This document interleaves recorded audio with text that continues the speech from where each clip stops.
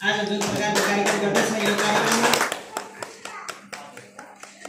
प्रकाश शर्माज्यू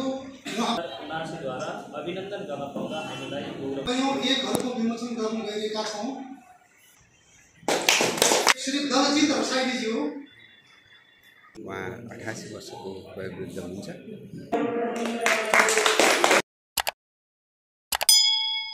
प्रमुख व्यक्तित्वबाट यहाँ मुखतिवादी कार्यक्रम रहेको छ। सर्वदा साहित्यिक सङ्घले आज जुन प्रकारको कार्यक्रम गर्दैछ। यो कार्यक्रममा प्रोग्राम गरिरहेका छौँ। ओम नमस्कनन्ताय सहस्रमूर्ते सहस्रपाद शशिगोरुवाहै सहस्रनाम्ने पुरुषाय शाश्वते सहस्रकोटि युगधारिणे नमः। ॐ स्वस्ति नः इन्द्रकृतसर्वाः स्वस्ति नः पूखा विश्ववेदाः स्वस्ति न अरिष्टनेमिः स्वस्ति नो बृहस्पतिर्ददातु राष्ट्रिय गान गाउनको लागि प्रार्थना अनुरोध गर्दछु। धन्जन नोक्सान गयो अकालमै कति व्यक्तिहरूको ज्यान गयो त्यो मात्रै नभएर हाम्रा ज्ञान अज्ञान शहीदहरूप्रति आत्मसम्मान प्रकट गर्दै उहाँको स्मरणमा र हाम्रो हिजो मात्रै हाम्रो पितृपक्ष सकिएको छ पितृहरूको नाममा पनि हामीले एक मिनट मौन धारण गर्नेलाई हार्दिक अनुरोध गर्दछौँ। कृपया मौन धारण एक मिनट। सम्बोधन यत्रो यत्रोचित गरे जो जहाँ जहाँ विराजमान हुनुहुन्छ जसको जहाँ जहाँ जुन किसिमको व्यक्तित्व छ मैले त्यही किसिमको सम्मानपूर्वक सम्बोधन गरेँ र सबभन्दा पहिले म क्षमा पनि किन माग्दैछु भने दिउँसोज्यूले यो लेखेको विवरणलाई पनि तलमाथि पारेर यो आफ्नो ग्रहणको क्रमलाई लथालिङ्ग पारिदिनु भएको हुँदा अगाडि आउनुपर्ने नाम पछाडि र पछाडि पछाडि त नभनौँ अगाडि आउनुपर्ने पछाडि आएको हुँदा आएर कहीँ कसैलाई केही त्यस्तो आफ्नो ग्रहणको क्रममा नराम्रो केही परेको छ भने म क्षमा चाहन्छु। तैपनि उहाँले सकुन्जेल सम्पूर्ण विधिहरू पुरा गर्नुभएको छ। त्यसको लागि म उहाँलाई धन्यवाद दिन चाहन्छु। आज यो दसैँको पहिलो दिन धार्मिक गतिविधिमा अत्यन्तै बढी व्यस्त हुनुपर्ने दिन हो र पिताको दिन पनि हो। आफ्ना अनेकौँ कामहरू हुँदा हुँदै सर्वदा साहित्य सङ्गमले यो बेमौसमको कार्यक्रम किन राख्यो भनेर उत्तर पनि भएको होला। र यो बेमौसमको कार्यक्रममा हाम्रो निम्तोलाई स्वीकार गरेर आज यहाँ जो जसरी आइदिनु भएको छ उहाँहरू सबैलाई म यो संस्थाको तर्फबाट यो संस्थाको अध्यक्षको तर्फबाट र मेरो व्यक्तिगत तर्फबाट म हार्दिक आभार कृतज्ञता प्रकट गर्न चाहन्छु। आज हामी दुईवटा पुस्तकको विमोचन गर्न गइरहेका छौँ। मैले अघि नै यहाँको अगाडि राखेँ। एउटा मात्रै कृतिको नाम यहाँ उल्लेख भएको छ। प्राविधिक कारणवश अर्को पुस्तकको नाम हामीले उल्लेख गर्न सकेनौँ। आज हामी भीम प्रज्वलज्यूको कविता सङ्ग्रह कयौँ एकहरूको विमोचन गर्न गइरहेका छौँ। अर्को एकजना वयोवृद्ध कवि हुनुहुन्छ भूपेन्द्र प्रकाश शर्माज्यू। उहाँको पनि चिरखाड भन्ने एउटा काव्यको विमोचन गर्न गइरहेका छौँ। सङ्ग्रह आखिर उहाँहरू दुवैजना यस क्षेत्रको लागि अपरिचित होइन आफ्नो क्षेत्रमा एउटा विशिष्ट व्यक्तित्वको निर्माण गरिसकेका उहाँहरू दुईजना लेखक कवि हुनुहुन्छ भीम प्रज्वल अङ्ग्रेजीको शिक्षक हुनुहुन्छ दुईवटा विषयमा उहाँले एमए गर्नुभएको छ प्रथम श्रेणीमा प्रथम दुईटै विषयमा अहिले उहाँ गाउँघाटमा अङ्ग्रेजीको अध्यापन गराउनुहुन्छ र उहाँ योग गुरु पनि हो आध्यात्मिक व्यक्तित्व पनि हो उहाँको पुरानो पृष्ठभूमि केही उल्लेख गर्ने हो भने कसरी पुरानो कुरा बिर्सिन्छन् म चाहिँ पुरानो कुरा पनि बिर्सिनु हुन्न भन्छु उहाँ नेकपा माओवादीको जनयुद्धकालको कमिसार पनि हो उहाँ अहिले एकदमै उहाँ आध्यात्मिक व्यक्तित्व एकदमै जीवनमा उहाँको टर्न आएको छ र उहाँ बहुमुखी प्रतिभा हुनुहुन्छ उहाँका कवितामा एउटा आध्यात्मिक चेतना छ त्यो अहिले अध्ययन गरेपछि यहाँहरूले पाउनुहुनेछ उहाँको बारेमा पनि यति नै भने अर्को हाम्रो यस कार्यक्रममा बस्नुभएका कविहरूमा सबभन्दा वयोवृद्ध कवि अठासी वर्षको भूपेन्द्र प्रकाश शर्मा बाठोला हुनुहुन्छ। आजभन्दा चालिस वर्ष अगाडि हामीले यस्तो ब्यानर कपडामा लेख्नुपर्ने समयमा यस्तो ब्यानर बनाउनु पऱ्यो तुलहरू लेख्नु पऱ्यो भने हामी उहाँको प्रकाश आर्टमा जान्थ्यौँ। र उहाँलाई नेपालगञ्जको सबभन्दा पहिलो कम्युनिस्ट पनि भनिन्छ उहाँलाई। मैले चिन्दाखेरि चाहिँ उहाँ कम्युनिस्टबाट निवृत्त भइसक्नु भएको थियो मैले उहाँलाई कविको रूपमा मैले उहाँ चिनेको उहाँलाई चिनेको थिएँ अहिले अत्यन्त निष्काम भावका साथ उहाँ आध्यात्मिक चेतनामा लाग्नु भएको छ उहाँको योभन्दा अगाडि पनि कृतिहरू प्रकाशित भइसकेका छन् र अहिले उहाँको काव्य सङ्ग्रह हामी प्रकाशित गरेर प्रकाशित गरेको हाम्रो सत्यराम कार्की सरको पहलमा हो त्यसको विमोचन गर्न हामीले पायौँ एउटा भनाइ छ नि जो मान्छेलाई चाहिँ भूमिका गर्न हुन्छ। त्यो भूमिका उसले निभाउनै पर्छ भन्ने एउटा मान्यता छ। त्यो मान्यताको पुस्तक कहिले प्रकाशित भयो कसरी प्रकाशित भयो त्यसमा के के प्रकाशन भयो भन्ने कुरा हामीलाई थाहा थिएन। तर तर प्रकारान्तले नियतिले त्यो महत्त्वपूर्ण व्यक्तित्वको महत्त्वपूर्ण कृति विमोचन गर्ने यो संस्थाले अवसर पायो। त्यो पनि हाम्रो लागि गौरवको कुरा हो। यी दुइटै गौरवको कुरामा यहाँहरू समावेश गरिदिनु भएकोमा यहाँहरूलाई म फेरि आभार प्रकट गर्न चाहन्छु आज गर्ने क्रममै म तिनजना व्यक्तित्वहरूको सानो चर्चा पनि गर्न गइरहेको छु दोस्रोजीले उद्घोषण गर्दाखेरि मलाई यो अधिकार त दिनुभएको थिएन। तर अघि हाम्रो छलफल भएअनुसार आज सम्मान गर्नुपर्ने तिनजना सम्मानित व्यक्तित्वहरूको बारेमा पनि थोरै बोलिदिनु पर्ने हुन्छ। सर्वदा साहित्य सङ्गमले नगद पुरस्कार दिन नसकेका तर हृदयदेखि उहाँको कर्मले सम्मानित गर्न मन लागेका व्यक्तित्वहरूलाई कहिलेकाहीँ सर्वदा साहित्य सम्मानको नाममा सम्मान गर्छ कहिलेकाहीँ प्रकाश राजापुरी सम्मान भनेर सम्मान गर्छ कहिले प्रेम प्रकाश मल्ल सम्मान भनेर सम्मान गर्छ कहिले अरू अरू नामले हामी सम्मान गर्छौँ कृष्ण जन राणाको सम्मान हामीले सम्मान गर्ने गर्ने गरेका छौँ। यस प्रकार हामीले सर्वदा साहित्य सम्मान दुई हजार उनासी दुई हजार अस्सी र दुई हजार एकासी हामी सम्मान गर्न गइरहेका छौँ। उहाँहरू तिनजना व्यक्तित्वहरूको बारेमा म संक्षिप्त रूपमा यहाँ परिचय गराउन चाहन्छु। सबभन्दा पहिलो व्यक्तित्व हुनुहुन्छ सर्वदा साहित्य सम्मान दुई हजार उनासीद्वारा सम्मानित हुने व्यक्तित्व श्री बुद्धि प्रकाश शर्मा रेग्मीज्यू उहाँ बस्नुभएको छ। उहाँ दुई हजार दुई साल असार सत्र गते सल्यान जिल्लाको बडा गाउँ भन्ने ठाउँमा जन्मिनु भएको हो। उहाँ कवि हुनुहुन्छ लेखक हुनुहुन्छ शिक्षक र समाजसेवी पनि हुनुहुन्छ। हाल उहाँ नेपालगञ्ज वार्ड नम्बर बाह्रको मुक्तिपुरमा बसोबास गर्नुहुन्छ। उहाँले अनेकौँ कविताहरू अनेकौँ फुटकर लेखहरू लेख्नु भएको छ। तर कृतिगत रूपमा उहाँको अहिलेसम्म एउटा मात्रै कृति प्रकाशित भएको छ महाकाव्य। कविहरूलाई एक एकपल्ट महाकाव्य प्रकाशित गर्ने लेख्ने धोको हुन्छ लेखकहरूलाई जीवनमा एकचोटि उपन्यास लेख्ने धोको हामीले ती महाकाव्य ठुलो सृजनाको एउटा पाटो हो त्यो महाकाव्य लेखेको कवि उमेरले पनि एकासी वर्ष भएको उहाँलाई सम्मान गर्न पाउँदा हामी गौरवान्वित भएका छौँ र उहाँलाई सम्मान गर्ने दिन पनि आज यस्तो समय परेको छ महाकाव्यले लेखेको व्यक्ति, शशिराम कार्कीज्यूले सभापतिको आसन ग्रहण गर्नुभएको छ उहाँ उपन्यास लेखेको व्यक्ति पनि हो। र अर्को लेखकहरूलाई उपन्यास लेखेको हुन्छ। त्यो उपन्यास लेखेको व्यक्तिको महानन्द ढकालज्यू प्रमुख आमन्त्रित व्यक्तित्व हुनुहुन्छ। बडा मिठो संयोग परेको छ। यति वरिष्ठ सम्मान गर्न पाएका छौँ। त्यस्तै सर्वदा साहित्य सम्मान दुई हजार असीले सम्मानित स्रष्टा यस चिर परिचित बुद्धिजीवी प्राध्यापक लेखक समाजसेवी हुनुहुन्छ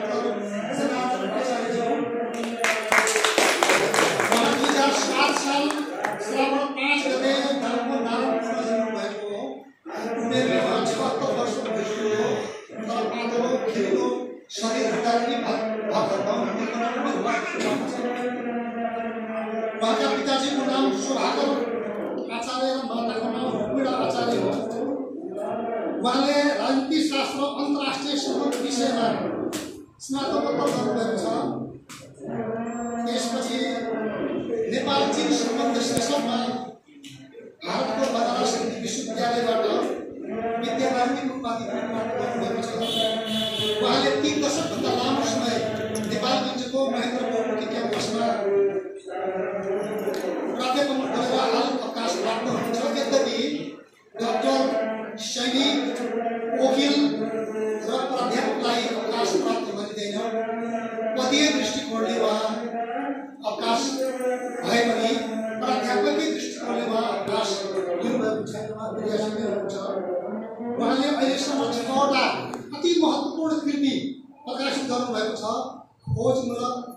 अन्तर्राष्ट्रिय कूटनीतिको क्षेत्रमा सम्बद्ध भएका ग्रन्थहरू छन्।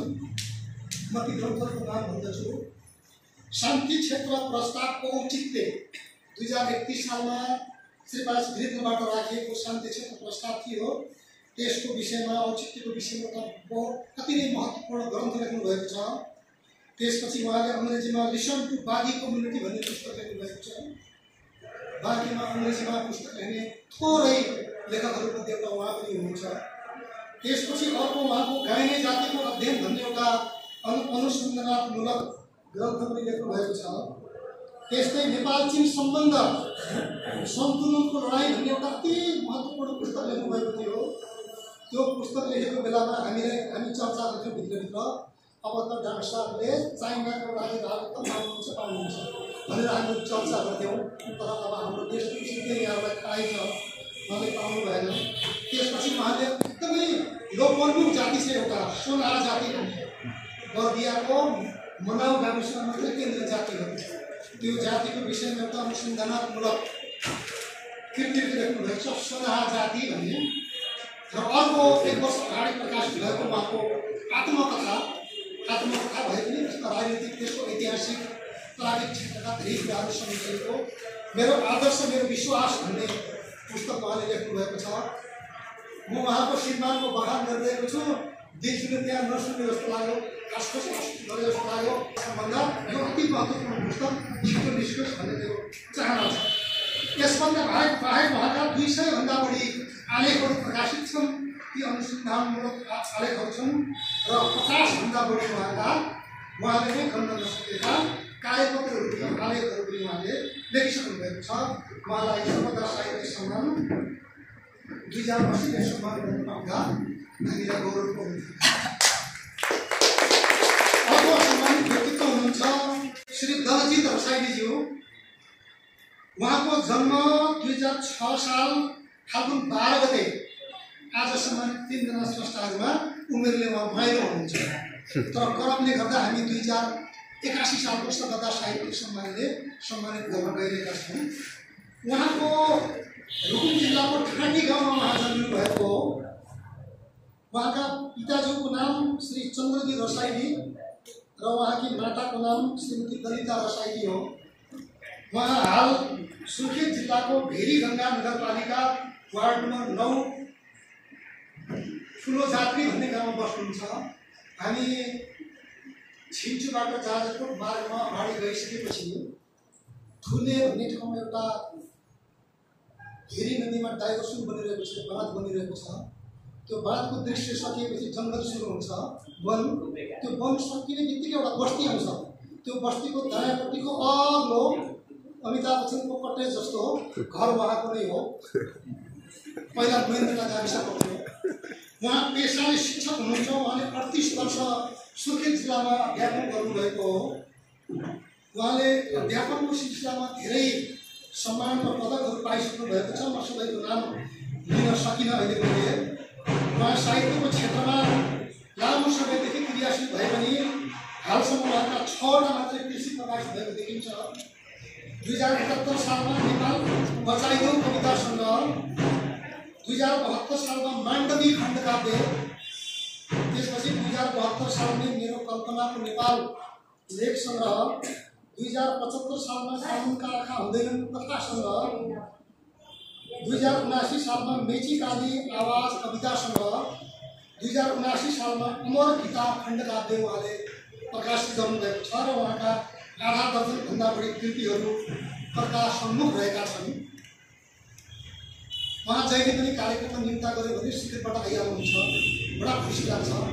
उहाँसँग जोडिएको एउटा सानो अलिक दुःखादि कुरा म जोड्न चाहन्छु। प्रायः जस्तो मान्छेहरू के भन्छन् भने कवि लेखकलाई आफ्ना साहित्यिक पुस्तकहरू नदिनु उपहार नदिनु भन्दछन्। त्यसको कारण के छ भने उनीहरू पढ्दैन भन्ने मान्यता छ। मलाई चाहिँ भोकी जस्तो पनि लाग्छ। एकपल्ट उहाँले महाकाव्य लेख्नुभएको थियो। मलाई हेरिदिनु पऱ्यो भन्नुभयो। म महाकाव्यको म पनि आउँदैन मलाई सर।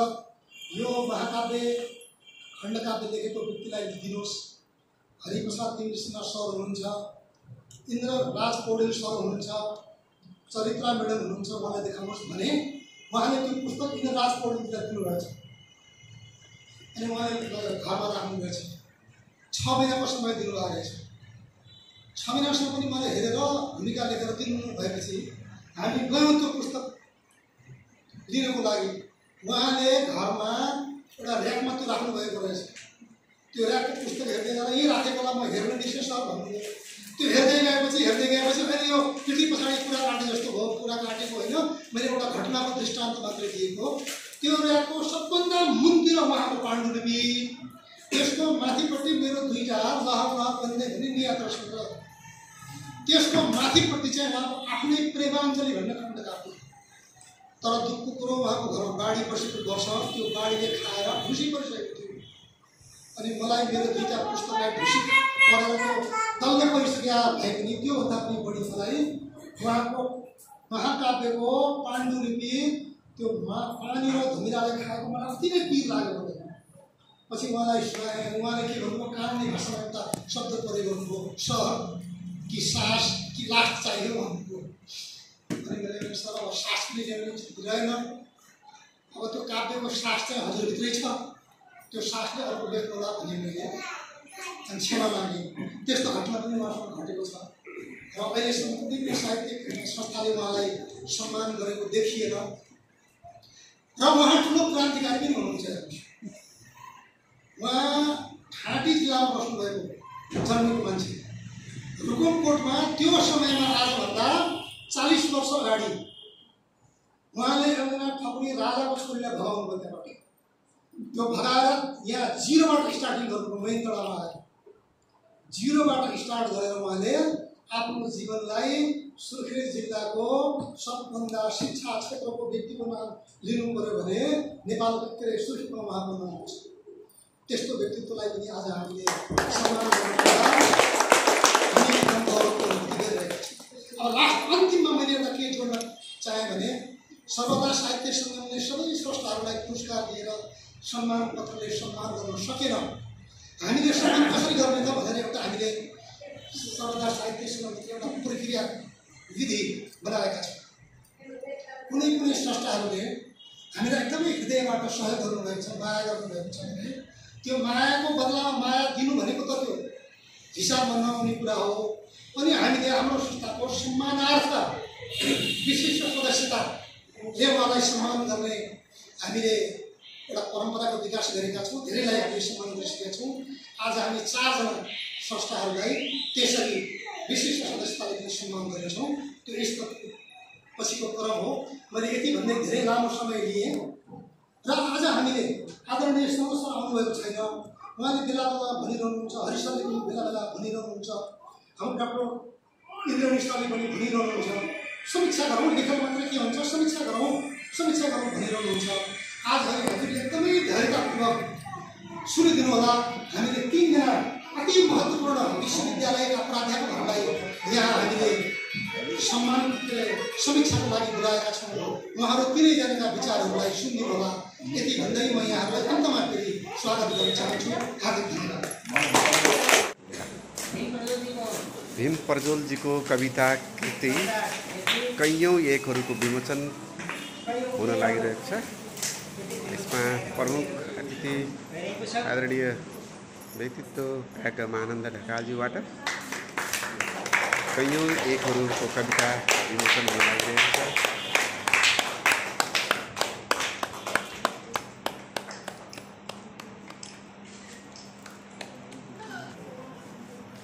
ल, बधाई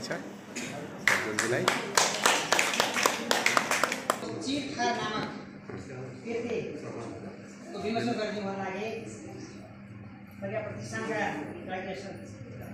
महानन्द राजु र कार्कीज्यूलाई गर्नु आन्तरिक व्यक्तित्वहरूलाई अनुरोध गर्दछु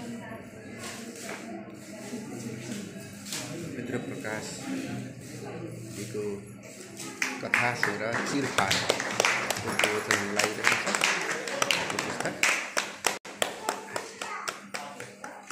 एकजनाले पछाडि फर्काइदिनु भयो नि हुन्थ्यो।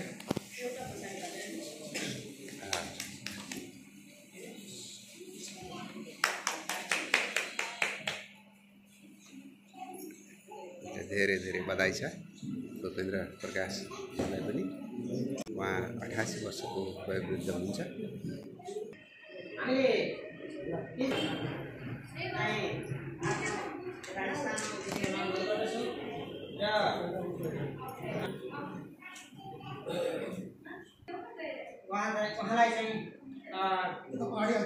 टिका लगाई ग्रहण गरिदिनु हुनको लागि र पहिरनको लागि अनुरोध गर्दछु अगाडि साहित्य सङ्गम नेपालगञ्ज स्थापना दुई हजार अडसट्ठी कार्यालय नेपालगञ्ज उपमहानगरपालिका वार्ड नम्बर एक बाँकी।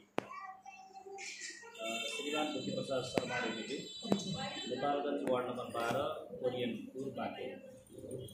विक्रम सम्वत दुई हजार साल असाढ सत्र गते सल्यान जिल्लाको बडा गाउँमा जन्मनुभएका यहाँले विगत लामो समयदेखि नेपाली भाषा साहित्यको उन्नयनमा दिनुभएको योगदान उल्लेखनीय प्रशंसनीय प्रेरणादायी र अनुकरणीय रहेको छ। विशेष त यहाँले मेरियामा महाकाव्यको रचना गर्नुका साथै आफ्ना छन्दोबद्ध कविताद्वारा नेपाली कविता परम्परालाई समृद्ध बनाउन ठुलो योगदान दिनुभएको छ। यहाँले निरन्तर यहाँले निरन्तरको सृजनात्मक कर्मद्वारा नेपाली साहित्यको भण्डारलाई परिपूर्ण बनाउन हेर्नुभएको भूमिका सृजनशील व्यक्तित्व र बहुमुखी प्रतिभाको उच्च मूल्याङ्कन गर्दै विक्रमसम्म दुई हजार एकासी साल आश्विन सत्र गते प्रतिस्थापनाको शुभ दिनमा यस नेपालगञ्ज नगरीमा यहाँलाई सर्वदा साहित्य सङ्गम सर्वदा साहित्य सम्मान दुई हजार उनासीद्वारा अभिनन्दन गर्न पाउँदा हामीलाई गौरवको अनुभूति भइरहेको छ।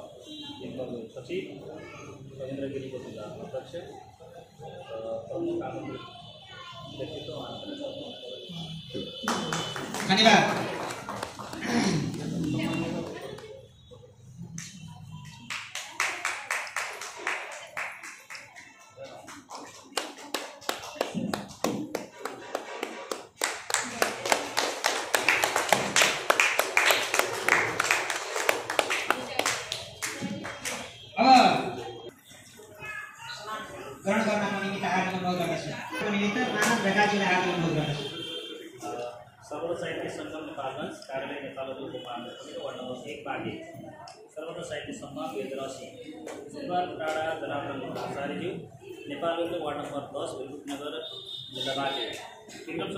सात साल श्रावण पाँच गते दाङ जिल्लाको नारायणपुरमा जन्मनु भई नेपालगञ्जलाई कर्मफल बनाउनु भएका यहाँले अ, कौटुम्बिक शास्त्रमा विद्याभारतीको उपाधि प्राप्त गरी लामो समय त्रिभुवन विश्वविद्यालयमा प्राध्यापन गरेर नेपालको शैक्षिक र सामाजिक स्थानमा महत्त्वपूर्ण योगदान दिनुभएको छ। प्राज्ञिक अनुसन्धान ऐतिहासिक विश्लेषण र कौटुम्बिक दिवसमा केन्द्रित भएर यहाँले पाँचवटा महत्त्वपूर्ण पुस्तक प्रकाशन गर्नुका साथै अनेकौँ आलेख र कार्यपत्र लेखेर बौद्धिक प्राज्ञिक र साहित्यिक उन्नयनमा खेल्नुभएको भूमिका अत्यन्त प्रेरणादायी र प्रशंसनीय छ आफ्नो सृजनात्मक कर्मद्वारा यहाँले खेल्नुभएको भूमिका सृजनशील व्यक्तित्व र बहुमुखी प्रतिभाको मूल्याङ्कन गर्दै विक्रमसम्म दुई हजार एक्काइस साल असोज सत्र गते घटस्थापनाको शुभ दिनमा यस नेपालगञ्ज नगरीमा यहाँलाई सर्वदा साहित्य सम्मान दुई हजार असीद्वारा अभिनन्दन गर्न पाउँदा हामीलाई गौरवको अनुभूति भइरहेको छ धन्यवाद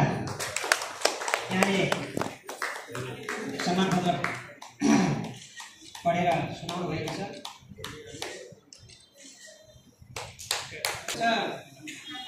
सुर्खेतबाट पाउनुभएको छ। श्री दलित रसाइलीजी मलाई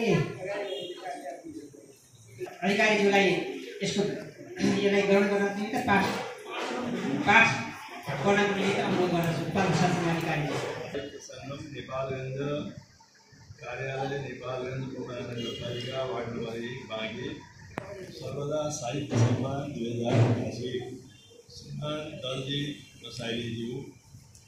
एडी गङ्गा वार्ड नम्बर एक।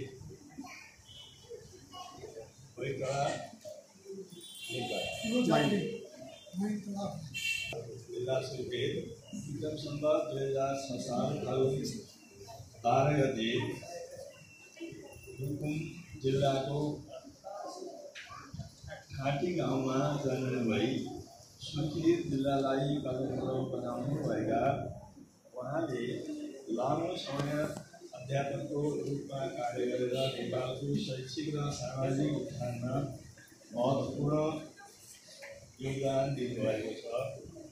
यहाँले सातवटा महत्त्वपूर्ण पुस्तक प्रकाशित गरी नेपाली भूमिका अत्यन्त प्रेरणादायी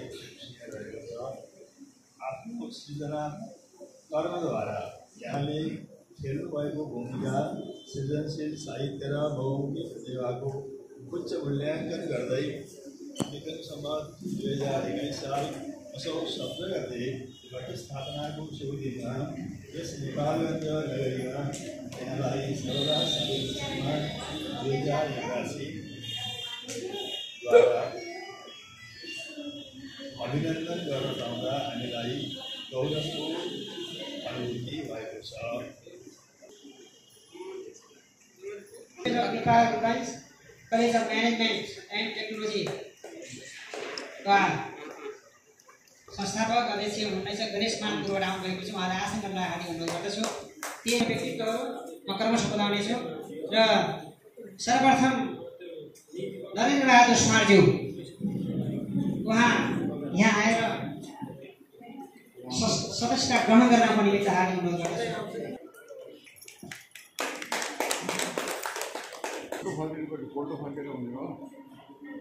गरिदिनुको लागि हार्दिक अनुरोध गर्दछु। कोपिला अधिकारीले विमोचित जुन पुस्तक छ नामक पुस्तक यहाँ राखिएको छ यहाँ गर्दछु सीतालाई ग्रहण गर्नको निमित्त लक्ष्मण बहादुर कार्कीज्यू उहाँलाई पनि यहाँ